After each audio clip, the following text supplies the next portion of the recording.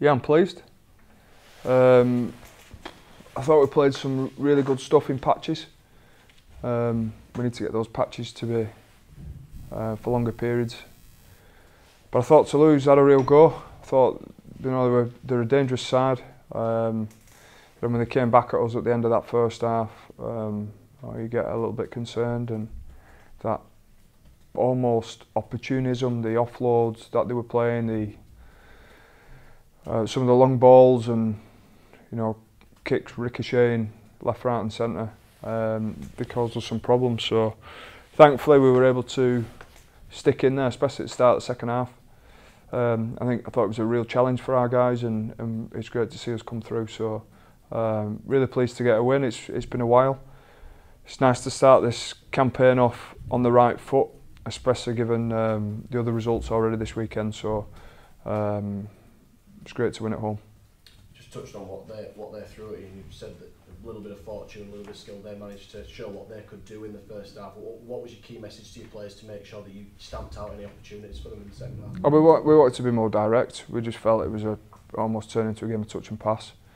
Um, very loose and offloady and um, we just felt we needed to grab control of that through a bit more dominance in our contact but also uh, been very direct with our play as well. And I, anyway, it took a little bit of time at the start of the second half, but I thought we we managed that really, really well. I thought Richie on last plays in particular really put us in the right position and made it tough for them to come out of those corners. So,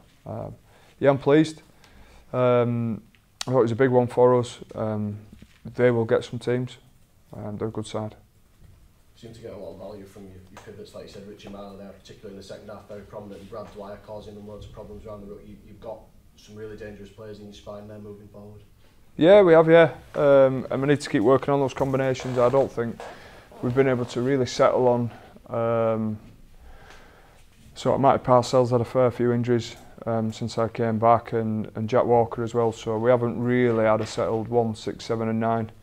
Um, you know, hopefully that will come in the next few weeks. But yeah, I was, I was pleased with him. Carl Ablett stepped up and played um, and they asked for us as well today, and I thought he was pretty good. So um, looking forward to next week. I know we're going up against a real dangerous side, but um, and having saw the last the last 10 minutes against uh, against Widnes, and um, you know we'll have a good look at them this week, but um, be a tough one for us.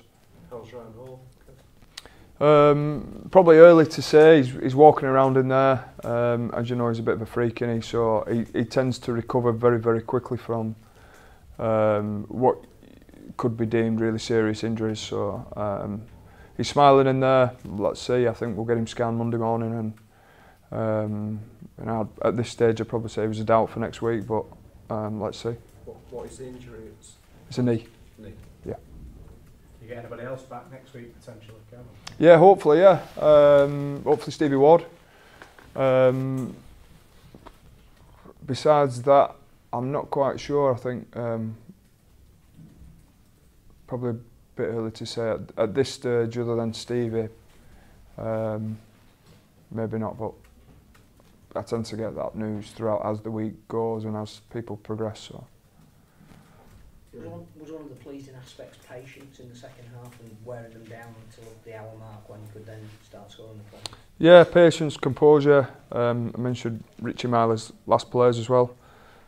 Um, I thought he got us around the field really well and um, I thought Jonesy was really good as well at the start of that second half. I just thought he was nuggety and, and was able to clean a lot of things up for us. He gave us that directness that we needed in our carries and, and then, like I said, Richie on the back just